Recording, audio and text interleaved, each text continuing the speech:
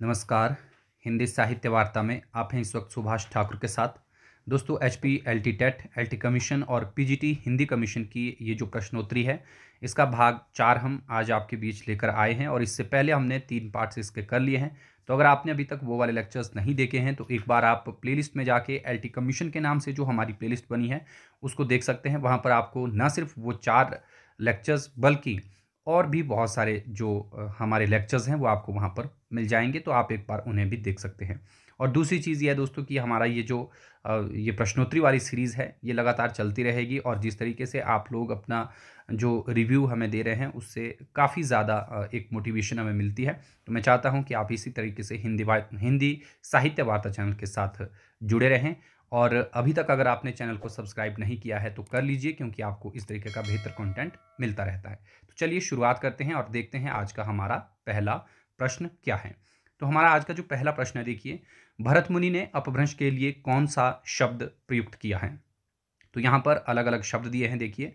जो भरत मुनि थे, इनकी जो प्रसिद्ध रचना रही, वो रही नाट्यशास्त्र। उन्होंने इसमें क्या कहा था? इसको विभ्रष्ट शब्द कहा था। जबकि अपशब्द जो कहा, ये पतंजलि ने, महाभाष्य में कहा था और अभिरादि दंडी ने कहा है। अभत, जो शब्द इसके लिए दिया गया था स्वयंभू ने। हालाँकि हमने भरत मुनि से दूसरा प्रश्न देखा था, देखिए, कि इसने इसको देशी भाषा भी कहा बाद में। ठीक है? लेकिन यहाँ पर आपको जो अब दूसरा प्रश्न देखिए, ये रखा गया है आपकी बोलियों से रिलेटेड कि जो बघेली बोली है, उसका संबंध किस उपभाषा से माना जाता है? तो बोली से रिलेटेड प्रश्न आपको ज़रूर आता है। तो इसका जो सही आंसर था, देखिए, पूर्वी हिंदी।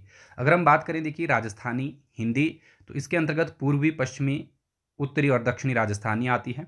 इसके साथ साथ पूर्वी हिंदी अवधि बघेली, छत्तीसगढ़ी, जबकि बिहारी, भोजपुरी, मगही और मैथिली।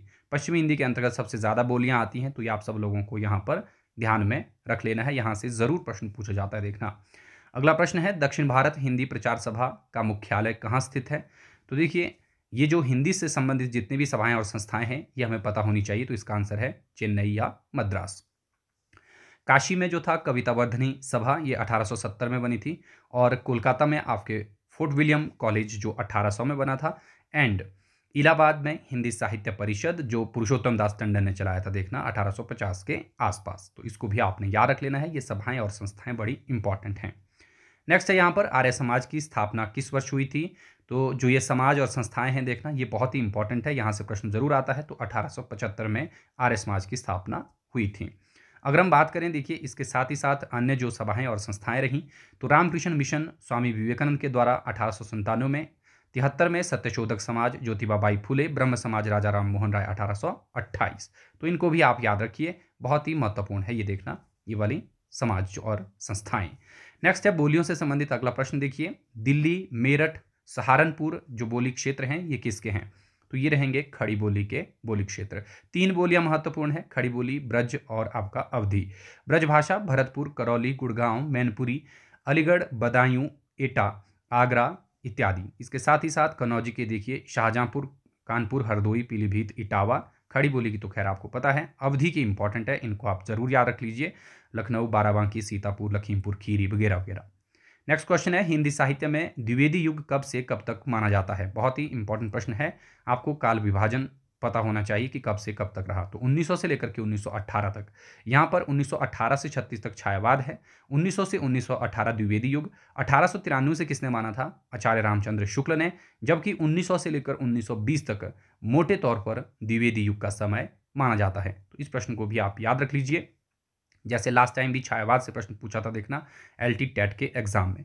नेक्स्ट क्वेश्चन है, गोरखनाथ को हिंदी का पहला गद्य लेखक किसने माना है? तो इसका जो सही आंसर हो जाएगा, देखिए, मिश्र बंधु, इन्होंने गोरखनाथ को ही माना कि ये पहले क्या रहे? गद्य लेखक रहे थे।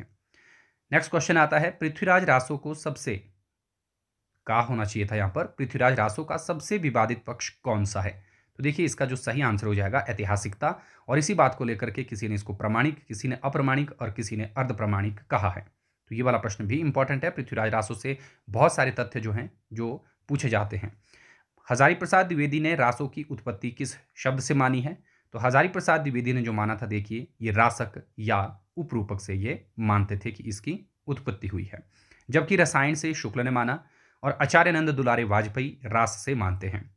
राजसूय से गारसद तासी ने माना और इसके साथ ही साथ आप देखेंगे कि जो आचार्य रामचंद्र शुक्ल रहे, उसी ने रसायन से रास या रासो ही माना है आगे बाद में। तो नेक्स्ट क्वेश्चन आता है दसवां प्रश्न, जॉर्ज ग्रियर्सन ने हिंदी साहित्य का आरंभ कब से माना है? तो देखिए, जॉर्ज ग्रियर्सन के हिंदी साहित्य में आठवीं से लेकर के बीसवीं शती तक का जो इतिहास हमें मिलता है, लगभग बारह सौ वर्षों का इतिहास। यहाँ पर दसवीं शती आचार्य रामचंद्र शुक्ल ने माना, देखिए अगर हम ईस्वी सन में बात करें तो ये नौ सौ तिरानवे हो जाता है, जबकि ये विक्रमी संवत में आता है आपका दस सौ पचास। इसके साथ ही साथ रामकुमार वर्मा सात सौ तिरानवे, नगेंद्र भी सातवीं शती के मध्य से मानते हैं और बारहवीं से माना गणपति चंद्र गुप्त जी ने। इसके साथ ही साथ अगला प्रश्न है, आदिकालीन काव्य में किस प्रकार का, किस प्रवृत्ति का अभाव है? तो ये हम सब लोग जानते हैं, आदिकाल में राष्ट्रीय चेतना का अभाव हमें देखने को मिलता है, क्योंकि यहाँ पर अधिकतर रचनाएँ राजाओं की प्रशंसा में ही लिखी गई थी। नेक्स्ट क्वेश्चन आता है यहाँ पर, प्रजा हितैषी के संपादक कौन थे? तो हिंदी की पत्र पत्रिकाएँ बड़ी इंपॉर्टेंट है, यहाँ से भी ज़रूर प्रश्न पूछा जाता है। तो इसका जो सही आंसर होगा, देखिए, राजा लक्ष्मण सिंह। बहुत ही महत्वपूर्ण ये पत्रिकाएँ हैं जो प्रारंभिक रही, लगभग 1900 से पहले की। राजा शिव प्रसाद सितारे हिंद ने बनारस अखबार 1845 में कोलकाता से निकाली। बालकृष्ण भट्ट, हिंदी प्रदीप 1877 प्रयाग और प्रेमघन ने मिर्जापुर से अठारह सौ इक्यासी में कौन सी निकाली थी आपकी? जो आपका आनंद कादम्बनी रही, उसको। उसको आपने याद रख लेना, वो यहाँ पर नाम नहीं लिखा गया था। भारत में किसी भारतीय भाषा में छपने वाला पत्र कौन सा है? तो ये है आपका दिग्दर्शन, जो बांग्ला में छपा। और ये प्रश्न पहले भी पूछा गया है, देखना, इसको आपने याद रख लेना है।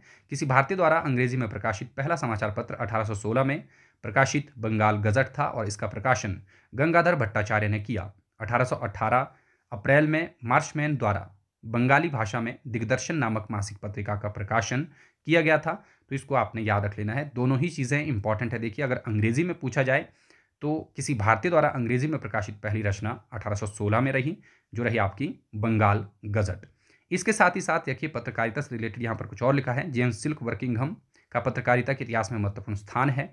स्वतंत्र तथा तटस्थ पत्रकारिता को जन्म देकर पत्रकारों को पत्रकारिता अपनाने के लिए प्रोत्साहित किया। साथ ही साथ, इसने प्रेस को जनता का प्रतिबिंब बनाया और इसका आधुनिक रूप उन्हीं की देन है। भारत में राष्ट्रीय प्रेस की स्थापना का श्री राजा राम मोहन राय को दिया जाता है।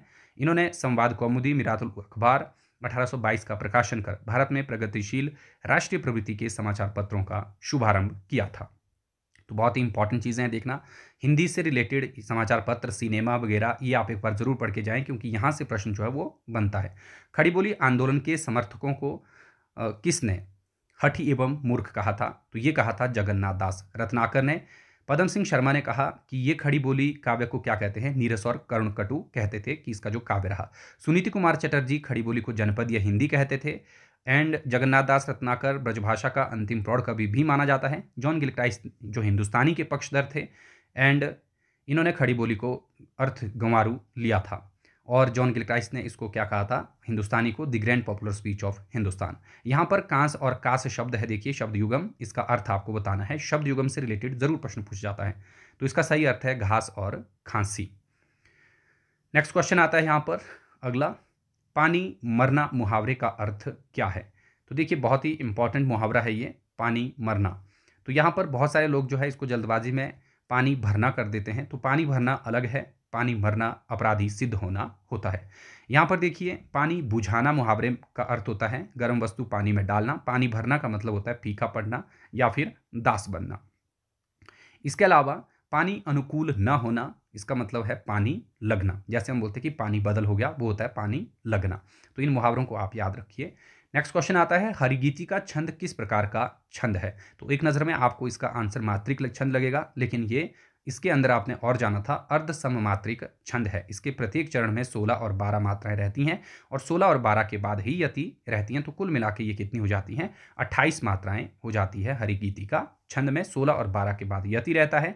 जो पदांत है, वो लघु और गुरु के साथ होता है। इस बात को भी आप यहाँ पर याद रख लीजिए। नेक्स्ट क्वेश्चन आता है, हिंदी का वास्तविक प्रथम महाकवि चंद्रवरदाई को ही कहा जा सकता है? यह कथन किसका है? तो ये था मिश्र बंधुओं का कथन, बहुत ही इंपॉर्टेंट कथन है देखना। शुक्ल ने क्या कहा था कि ये जो चंद वरदाई थे, हिंदी के प्रथम महाकाव्य माने जाते हैं और इनका पृथ्वीराज रासो हिंदी का प्रथम महाकाव्य है। इसके अलावा रामस्वरूप चतुर्वेदी ने बोला कि पृथ्वीराज रासो हिंदी की अपनी महाकाव्य परंपरा की बड़ी उपयुक्त प्रस्तावना है, जबकि बच्चन सिंह यह एक राजनीतिक महाकाव्य है और दूसरे शब्दों में राजनीति की महाकाव्यात्मक त्रासदी इसे कहते हैं। मिश्र बंधुओं का ये कथन था, देखिए, कि हिंदी का वास्तविक प्रथम महाकवि चंद्रवरदाई को ही कहा जा सकता है। तो इस तरीके से जो चार प्रमुख नाम हैं, इन्होंने क्या कहा था पृथ्वीराज रासो के बारे में, ये आपको ज़रूर याद रख लेना है। नेक्स्ट क्वेश्चन और आज का आखिरी प्रश्न है, देखिए, शालिभद्र सूरी को हिंदी का प्रथम महाकवि किसने माना है? तो शालिभद्र सूरी को जो हिंदी का प्रथम महाकवि माना है, देखिए, ये माना था गणपति चंद्र। गुप्त जी ने। और इनकी जो रचना थी, वो थी भरतेश्वर, बाहुबली, रास और ये हिंदी में रचित रास परंपरा की पहली रचना मानी जाती है। रामकुमार वर्मा के अनुसार स्वयंभू थे, गणपति चंद्रगुप्त के अनुसार शालिभद्र सूरी थे सांकृत्यायन के अनुसार सरप्पा और यही सर्वमान्य मत है अब्दुल रहमान को हजारी प्रसाद द्विवेदी ने माना और शिव सिंह सैंगर ने पुष्य या पुण्य कवि को हिंदी का पहला कवि माना। तो ये थे आज के बीस क्वेश्चन। आई होप कि आप सब लोगों ने इन बीस प्रश्नों से लगभग पचास क्वेश्चन बनाने की कोशिश की होगी। तो अगर आपको हमारा ये प्रयास अच्छा लगा है तो प्लीज़ वीडियो को लाइक कर दीजिए और चैनल को सब्सक्राइब नहीं किया है तो कर लीजिए।